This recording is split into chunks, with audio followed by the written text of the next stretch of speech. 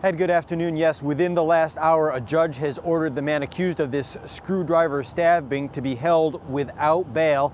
He's accused of charges including mayhem and assault with a dangerous weapon. Now, it happened at around 9 o'clock this morning outside the Starbucks on Wellington Circle in Medford.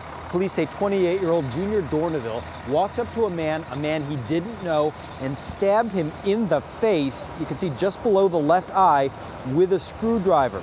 Now, witnesses then ran over to a state police trooper who just happened to be working at a construction detail nearby.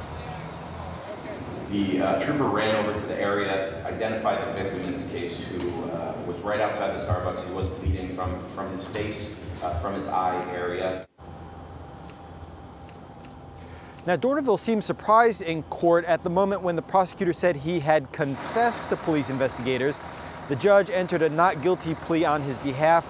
Dorneville does have two other pending cases in Charlestown and Somerville, and the prosecutor says he has a history of violent offenses. The judge ordered Dorneville to stay away from the victim and any witnesses in this case and scheduled a dangerousness hearing for a week from today.